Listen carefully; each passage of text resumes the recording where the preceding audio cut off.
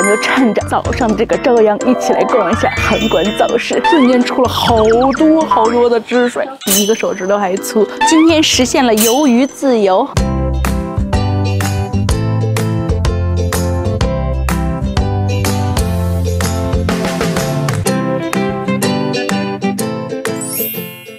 Hello，大家好，我是小易。要说韩馆的著名景点，韩馆超市一定排得上名次。今天呢，现在是早上的七点四十二分，小易起了一个大早，咱就趁着早上的这个朝阳，一起来逛一下韩馆早市。走着，这一进来就是一股咖啡香，而且这边特别多，全都是在棚子里，所以就没有外面那么冷了，还挺人性化的。已经开始排队了，那我身后就是这边最著名的游戏项目钓鱿鱼，我们也赶紧去钓一下。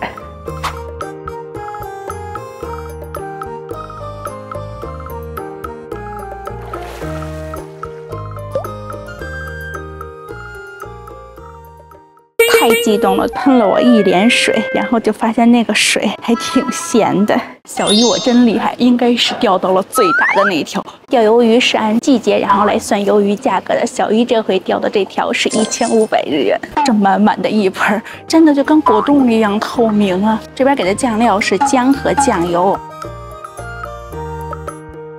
好新鲜呀，而且非常有口感，嚼起来就有一点绵绵的，但是又有点咯吱咯吱的感觉。昨天小易在餐厅也吃了活鱿鱼的刺身，那那边小的是三千三百日元，今天这么一大条才一千五百日元，果然还是市场便宜一些。虽然都是鲜鱿鱼，但是这边感觉吃起来更活泼一些，口感更好一些。这边的鱿鱼蘸了酱油之后再嚼，就越嚼越甜的感觉。而且我还发现，这鱿鱼身子和头部感觉不一样，头部更有嚼劲，身子更软绵一些。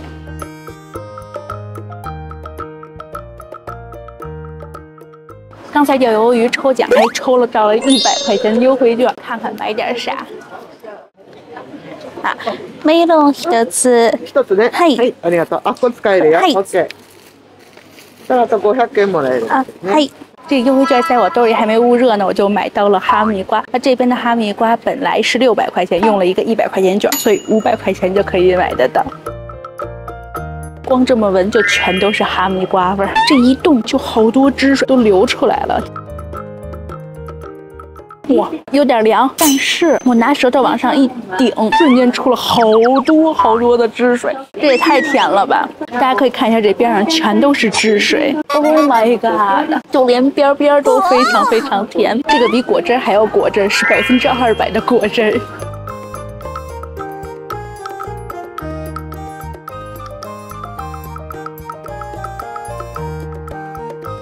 韩馆市场就有这个特点，刚才走进来全都是螃蟹，果然是北海道啊！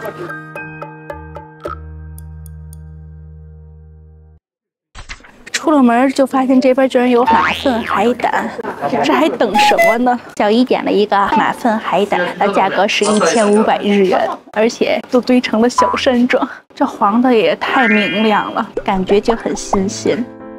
好冰啊，又在嘴里化开北海道这什么东西都在嘴里化开了吗？是因为嘴太热了吗？这一勺奶香奶香的，我都已经快了第三勺了，连一半都没吃完呢。我感觉底下比上面好吃，上面有点冻住，底下就完全是化开的状态。吃到现在，小姨怎么觉得这个满嘴里全都是海草味儿？这满嘴全是海草味儿，我也要变成一只海草了。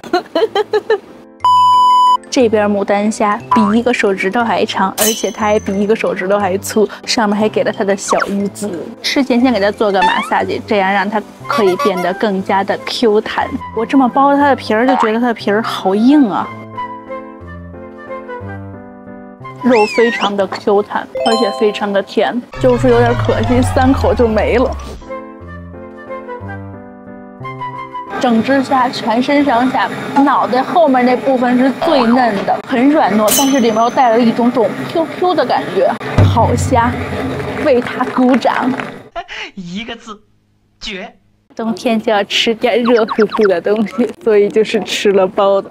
那这边也是螃蟹包子，不对，这边的包子叫做螃蟹土豆包子。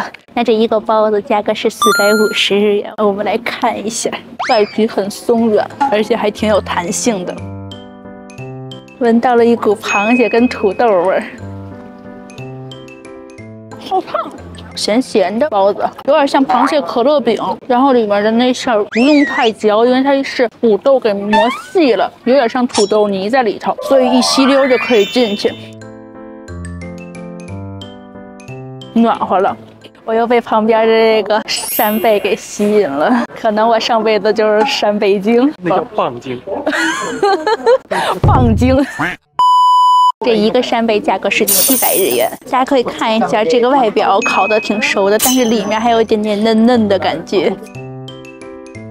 肌肉感、力量，而且有一股海的味道。扇贝怎么这么完美啊？而且它有一股淡淡的黄油香味。扇贝和黄油真是最好的 CP 了。大家吃扇贝的时候喜欢不喜欢里面加黄油一起烤？小姨是非常喜欢。再来吃一下它的裙边，比想象中的要软嫩一些。烤了的，它还有一些 Q 弹的感觉。买到了鱿鱼丝，而且据说这家店是在日本人当中很有人气的一家店。我们来尝一下，这一袋价格是一千零八十日元。哇，好鱿鱼啊！今天实现了鱿鱼自由。这一根是这么长，很好就嚼断了。这鸡子刚才就在那转呀转呀转呀转，因为是现烤的，所以就非常的香。这么看了一眼调料表，里面有搁了糖和盐什么的，还有醋，所以就让这个更加的有味道，而且非常的软嫩，比我们平时在超市买的软嫩的多。这个时候就需要来一杯啤酒啊！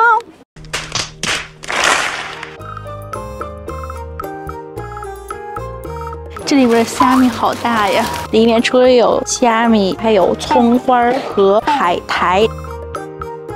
芝士和扇贝的可以来一个，肯定好吃。刚才黄油跟扇贝就已经那么好吃了，芝士跟扇贝那肯定更好吃。再来一个，韩馆特产就是玉卡梅西，我们也来一个，而且还是带到玉米黄油味的。小鱼转了一圈，又回到刚才吃梅隆的地方，然后又买了一个北海道产的红薯。那这一袋价格是三百五十元，